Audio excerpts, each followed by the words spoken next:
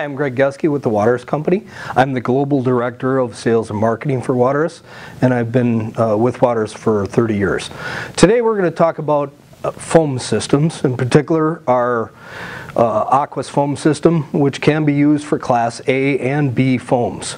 Um, water has been used for many years for extinguishing fires, but there's some problems with water in that there's a high surface tension uh, of the water. As we try to put out a fire, we of course use the water to absorb heat, and it's the surface area of the water that absorbs that heat.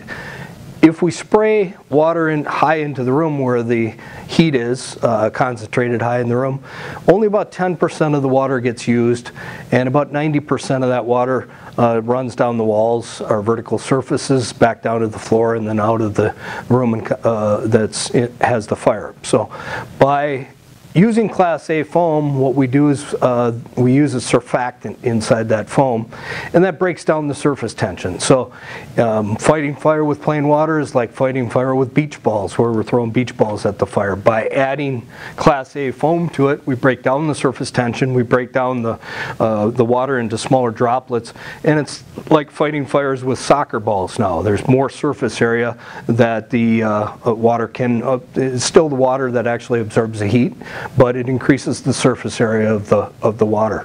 And the other part of it is in Class A foams, we have a foaming agent that actually makes bubbles. So it allows that water to stick to vertical surfaces and to ceilings, so that it keeps the water up there longer so that it can absorb heat longer also. Um, we have three different systems at Waterous uh, within our AQUIS line. We have a one and a half gallon per minute, a three gallon per minute, and a six gallon per minute. Primarily, the uh, 1.5 is only used for Class A foams. The 3 and 6 can be used with Class A and Class B foams. Um, if you're running a, uh, an AQUIS 3, for example, um, at 3% with Class B foam, you have to keep in mind that you can only treat 100 gallons per minute of flow. And with a 6 gallon per minute system at 3%, we'd only be able to treat 200 gallons per minute of foam. So uh, they can be used for A and B primarily because 99% of our, our fires uh, within fire departments are Class A fires. Um, most of the systems are Class A systems. Um, we do have the ability to run an A and B system though with the AQUIS 3 and 6. So um, nowadays, uh, foam system can be very easy to use. We'll be going out to the pump panel and I'll be showing you how to use the system, how to operate it, flush it afterwards, and, and maintain the system. Years ago when we used eductors, we had to match up the 90 GPM eductor with the 90 GPM nozzle, and we had to have our pressures uh, all accurate. Nowadays it's as simple as engaging the pump. We can have the system actually come on automatically with pump engagement. All we have to do then is pull one of our foam capable lines and flow uh, water out of it. We have a paddle wheel in the system which will measure the amount of water flow and then inject the, the foam at the percentage that we have set. So um, when we're using Class A foam, we inject at uh, 0.1 to 1% and typically with aspirated foam um, non-CAFs, we use it at a half a percent, and for compressed air foam, we use it at three tenths of a percent. So there's been some studies over the years uh, comparing plain water with Class A foam, and uh, in Salem, Connecticut, uh, there was a study that was done, and, and, basically what it showed that they measured the amount of time and the amount of flow that it would take to take the temperature in the room from 900 degrees down to roughly 212 degrees. And uh, the addition of Class A foam, basically because of the surface tension, breaking of the water, and increasing the surface area of the water, uh, was able to bring that temperature down twice as fast as plain water. Um, these tests were also duplicated in a test in Palmdale, California, and uh, they got similar results there where, uh, the, again, the, the, the, amount of flow and the time that it took was about twice as effective with Class A foam compared to plain water. So. So now you can follow me outside and we'll go out to the pump panel and we'll show you how the foam system works and how it operates. Okay, now we're out at the pump panel to talk about our operation of our foam systems. All of our AQUIS 1.5, 3s, and 6 utilize what we call an OIT or Operation Interface Terminal. Um, these can be set up where as soon as my pump is engaged, uh, the on light is on and it's ready to go. So any one of my foam capable discharges, we're going to pull those off the truck, start flowing water. It will measure the amount of water flow and then based on the percentage of foam that we have this set up at, it will uh, introduce that, that percentage of foam. Um, on this apparatus, we only have an A tank. If we did have an apparatus that's got an A and B tank, if we switched over to the B tank with the AB selector, this system would go to B and then I'd only be able to use it in 1, 3, and 6%. In the A foam, our percentage, uh, we go to the preset, which is at 3 tenths of 1%. Um, this can be set up in any default we, with you want. With this apparatus, we use CAF, so it defaults at 3 tenths of a percent.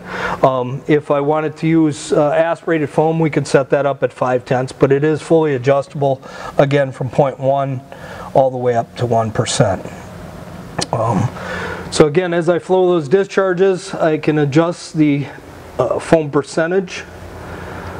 Next thing that I can do is I can check my total water so I can keep track of that. Uh, total water and total foam are cleared out as soon as the apparatus is power cycled but I can also check total foam. If I want to stay on any one of these, uh, the percent total water or total foam, I can hold this in for five seconds at that point and it'll stay at that position.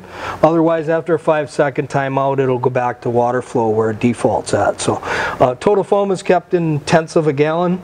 Uh, again, I can note this for my records if I want to keep track of how much foam I've used. Um, I want to write that down before I power cycle it because it will zero it back at that point.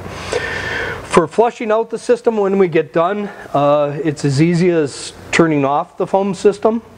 So I, I turn off the foam system and at this point I would radio out to the nozzle and say, nozzle, I've, uh, uh, I'm flushing it out, let me know when you got clear water. So you can see in the video here, um, we now have clear water. I'm going to shut it off.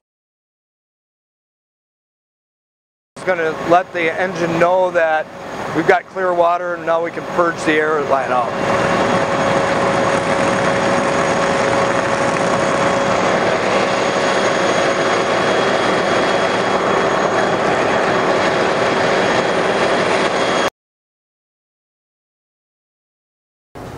When it comes to uh, maintenance of the system, um, relatively low maintenance. Uh, my department, we always refill our Class A foam tank when we get done with the call.